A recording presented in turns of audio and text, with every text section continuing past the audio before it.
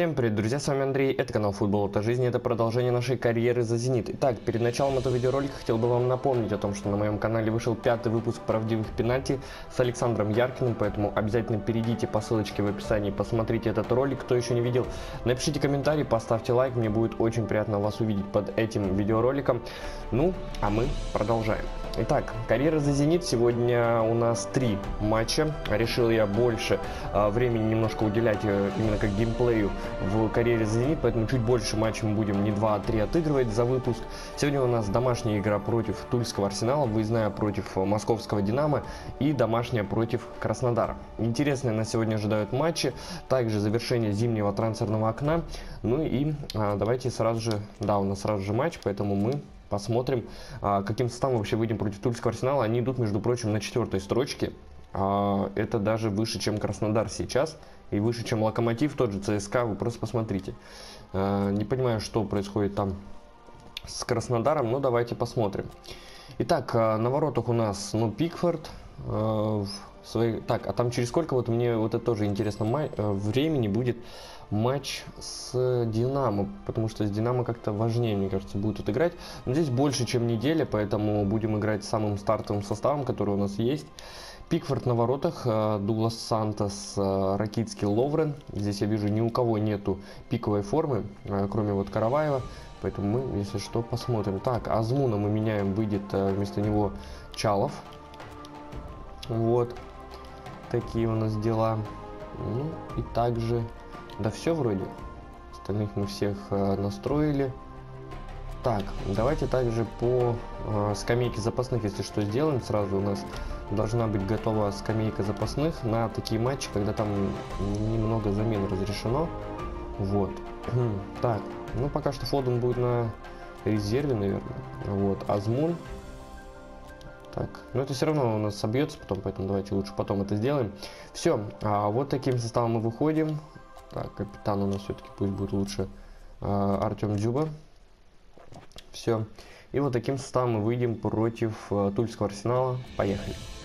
Итак, Газпром Арена. Зенит против Тульского Арсенала. Артем Дзюба выводит сегодня нашу команду. Мы готовы сегодня побеждать. И все, ребят, нулевая ничья в матче против Тульского Арсенала. Моменты мы создавали, пытались. Моменты также нам создавал Тульский Арсенал против нас.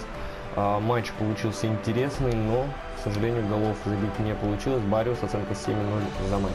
Итак, после 17 тура мы на первой строчке. У нас плюс 6 очков э, лидерства. Что-то мы стали в последних матчах очки терять. Три поражения у нас, вот две ничьи. Обидно, конечно, но сейчас у нас а, день переговоров. Значит, по кому-то пришло там предложение. Сейчас посмотрим, обсудим. Так, Ловрена у нас решили забрать в Ливеркузинский Байер, пока что я отклоняю. Азмуна хотят забрать в Шеффилд Юнайтед, интересный вариант, но нет. А Мостового хотят забрать в ЦСКА, тоже мы от отклоняем. Все, или еще какие-то есть. Вот, Васютина. Васютина хотят все-таки уже забрать в Эсбрович, мы, да, с вот этим соглашаемся, все отлично. И Васютин отправляется в Вестбромвич, ну, на данный момент я не знаю, может они... А, ну, на данный момент уж точно они играют в премьер-лиге. Вот, ну, может, там борются за э, выживание в главном английском дивизионе. Так, Васютин, Азмун, ежемесячный отчет, мостовой Ловрен, все здесь вроде мы сделали. Так, ну и давайте сразу же посмотрим э, по моей команде. Вроде как э, мы собрали полную команду, вот, два состава у нас должно быть. Так, вот это сюда. Давайте сразу же, да, скамейку здесь набросаем чтобы все нормально было. Так, Аздоев пойдет сюда. А, так, там сколько? 6 вроде, да, игроков разрешено, поэтому Чал, а, да, лучше Чалов и Ригони. Вот, вот так вот. Но остальные, вот у нас получается какая скамейка запасных. А, все, на все позиции у нас есть, поэтому теперь мы только а, делаем на укрепление, ищем самого слабого в нашем да, вот этот все правильно или нет? Нет, неправильно. Общий рейтинг по э, убыванию находим самого низкорейтингового. Так, кто у нас в составе? Круговой. Э, в клубе же у нас правильно? Правильно. Значит, нам нужно найти левого защитника. И сейчас мы этим и займемся. Так, работа скаутов, э, не центральный, а левый давайте защитника. Общий рейтинг в Европе. Так, э, левый защитник теперь на подъеме в Европе. И э, давайте пусть поищет нам в России левого защитника общий. Так, Россия, да, нам надо Россия. На общий рейтинг. Пропускаем бюджет весь. И здесь тоже надо пропустить. Все, вот такие у нас задачи. Поищем пока что замену на э, кругового, потому что ну, это самая слабая сейчас у нас позиция в клубе. Будем смотреть. Так, у нас дальше идут какие-то переговоры. Моя команда э, Лунева хотят у нас забрать в Кристал Пэлас. Прям что-то на голкиперов у нас в чемпионате Англии или Кристал Пэлас вылетели. Начали прям интересоваться так массово. Лунев об уходе игрока Давасютин покидает команду. Пропускаем один час и потихонечку досматриваем уже все новости трансферные. Так, предложение нам пришло по Малкому из Ювентуса. Посмотрите за неплохую стоимость, но все равно сколько там Малкому? 24 года нет. Малком это, как вы видите, один из ключевых игроков э, максимального рейтинга. 84 у нас пока что это максимальный рейтинг, поэтому ключевое звено, правда, которое я что-то не понимаю, как э, должно работать из-за того, что, ну, не забивает он так прям часто, ну, голевые вроде как, наверное, дает, надо глянуть. Так, еще нам приходит предложение по Ракитскому из ЦСКА. Что-то прям ЦСКА хотят забирать у нас игроков. Может быть, сразу Зенит переименуем в ЦСКА. Прям что-то много предложений. И Мостового, и Ракитского. Итак, снова приходит нам предложение. Малком э, в Атлетико Мадрид теперь хотят забрать. Прям топовые предложения в конец, причем трансферного окна. А Дзюбу хотят забрать в Ювентус. Я бы отдал бы, конечно, Дзюбу. А, причем он у нас еще не выставлен на трансфер. Ох, ребята, Дзюбу бы я, конечно, бы продал. Так. Зря я там, наверное, левого защитника все-таки выставил. Потому что мне надо избавиться вот именно от Дзюбы, возрастных игроков. А, Давайте поставлю сейчас э, здесь все центральные нападающие. Но, к сожалению, да, Дюбу мы сейчас не сможем отпустить. Или все-таки стоит, потому что все-таки, ну, Ювентус. Не знаю. Давайте я бы Дюбу оставил бы еще бы на, на вот эти вот полсезона. А, и тогда мы бы уже бы посмотрели. Но пока что я отклоню предложение по Дзюбе из Ювентуса, к сожалению. Дзюба хотел вообще в Англию, поэтому будем ждать из Англии. Вот. А по команде, что у нас здесь? Возраст надо посмотреть. По убыванию Дзюба самый возрастной. Вот нам надо избавиться от, э, смотрите, раз, два, три, четыре. Четыре игрока. Э, Дзюба, Ракитский, Ловрен и Лунев. Вот, эти четыре игрока с возрастом выше 30. Пока мы будем от них избавляться, у нас Аздоев, Терентьев э, и по тридцатке еще им будет, поэтому вот, но начнем с самого возрастного с Дюбы тогда. Будем искать на него замену. Ну, отлично. Уже хотя бы мы понимаем, что по нему предложение есть. Итак, все. Завершаем период трансферов. Интересные, конечно, приходили нам предложения, но лидеров мы пока что не готовы терять. Вот. Хотя клубы действительно очень интересные нам предлагали, но нет. Пока что мы не нашли а, замены. Донарума, самый громкий трансфер а, из Милана в Сити перешел. Ну и все.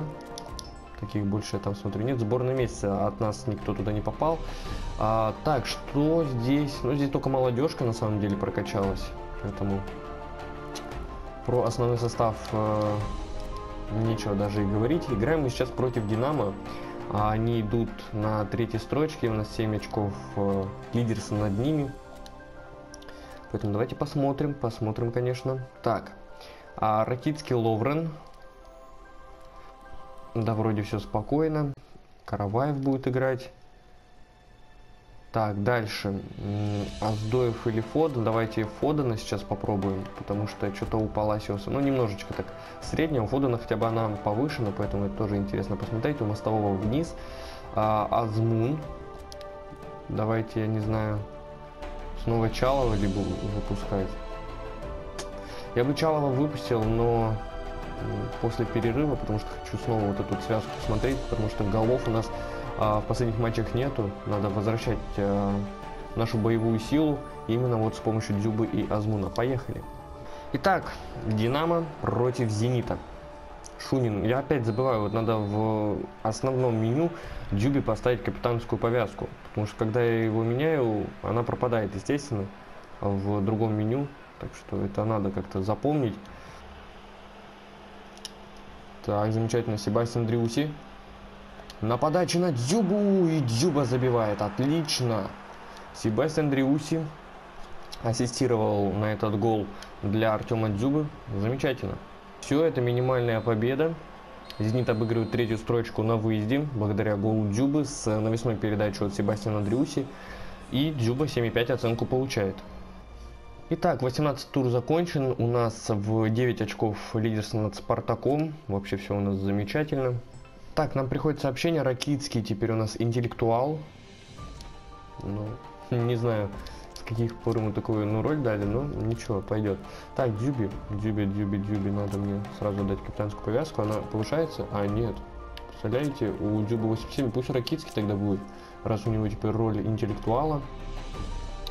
И у нас игра так, ну здесь я ничего не буду изменять, мы переходим к матчу, уже там будем настройки крутить. Вместо Пикфорда выйдет Лунев, сразу же круговой, Вместо Ловрена у меня выйдет Асорио, Караваев. Так, дальше. Кого еще можно бы выпустить?